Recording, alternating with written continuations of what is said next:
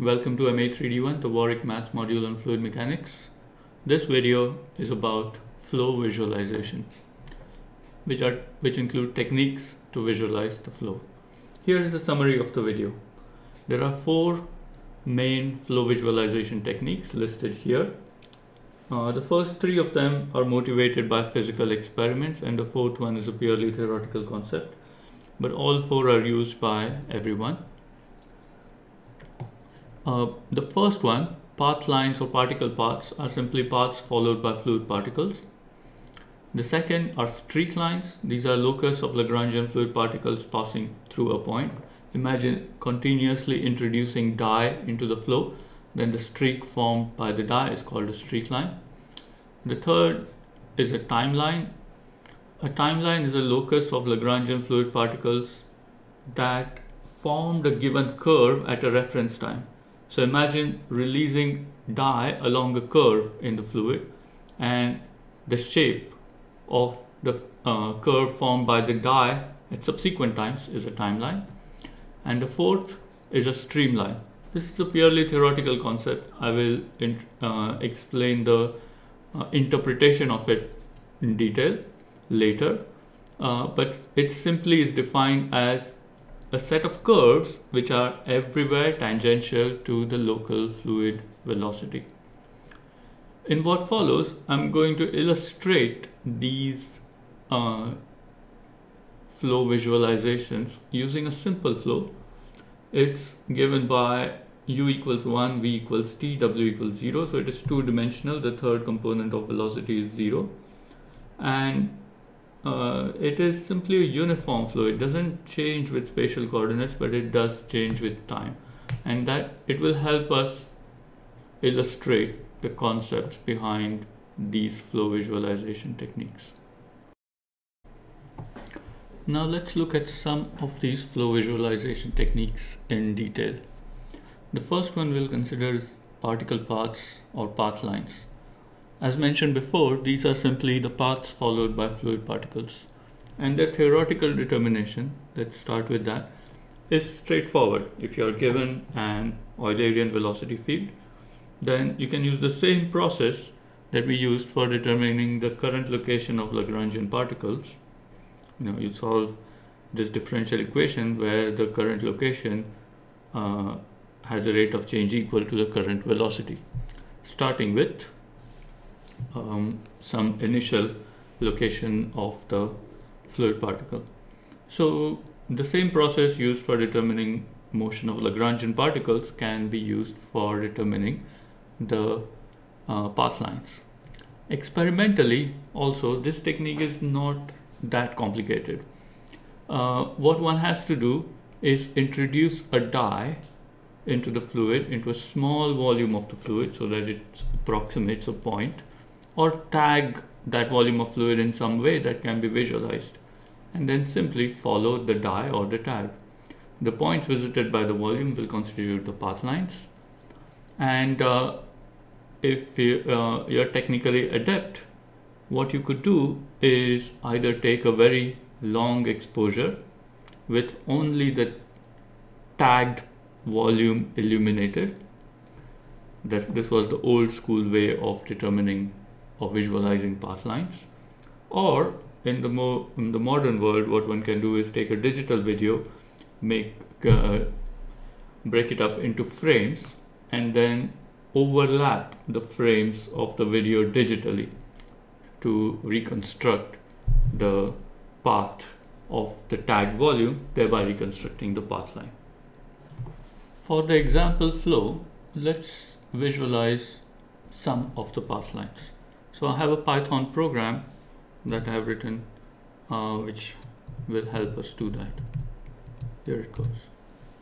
So in this case, the path lines originate from 1, 2, 3, 4, 5, 6 points on the y-axis and as you can see we track the position of individual particles and they follow this path.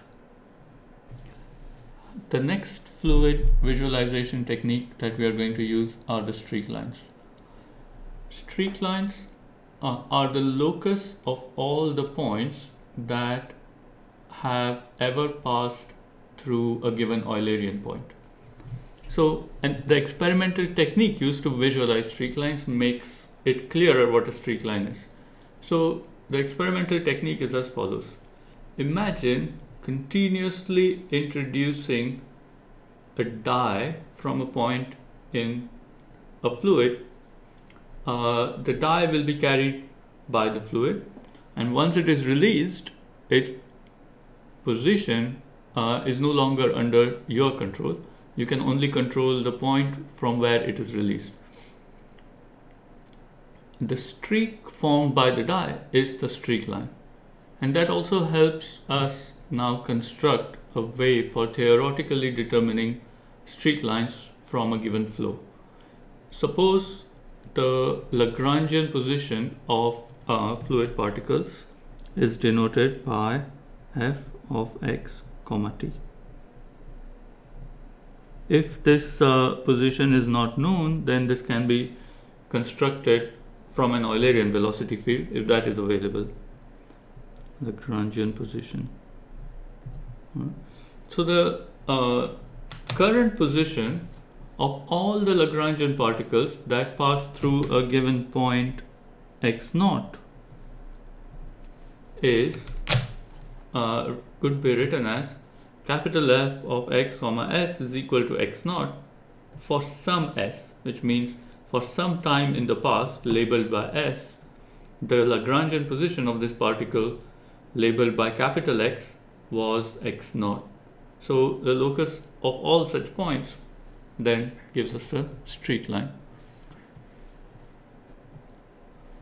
let's apply um, this technique to the flow, to the example flow, and uh, which will help us understand a little more about streak lines. In this uh, visualization, the black still shows the path lines and the red are the streak lines. And as you can see, initially it appeared that the uh, streak lines would coincide with the path lines, but as time went on, it's clear that they are distinct curves.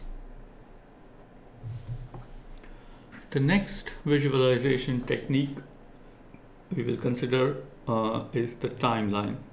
The timeline is made of the locus of Lagrangian points that coincided with a given curve at some reference time t naught in the past. The experimental technique uh, will help clarify the significance of the timeline Experimentally, timelines are constructed by releasing a puff of dye along a curve in the fluid and then following its motion. The origin of the timeline it uh, doesn't come so much from releasing dye as it comes from releasing hydrogen bubbles. As you know, uh, hydrogen can be formed by electrolyzing water by passing current through uh, water, hydrogen is released at the cathode.